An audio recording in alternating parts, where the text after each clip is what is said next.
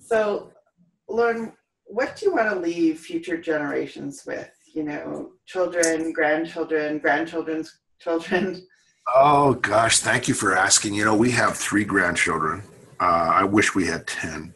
Um, uh, in fact, on the way to work this morning, because our uh, oldest daughter lives in the UK, so um, Catherine, uh, Kathleen, my wife Kathleen, was holding the phone, and I wasn't supposed to be looking as I was driving, by the way. But hmm. uh, little Harriet, who is one month old, and two and a half year old Amelia were on, and and then we have a nine year old grandson, and and I want them to, um, in a perfect world, when they remember me, um, that they would look at the character triangle and go, you know, my grandfather wrote this book about uh, being self accountable, and he taught me, and the stories about him um, re- informed me about what being self accountable was. And then he was really big on the second part of the triangle, which was be respectful.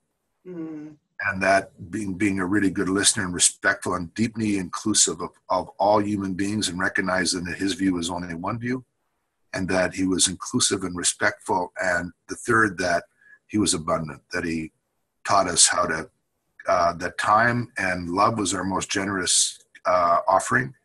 And to, and he gave it.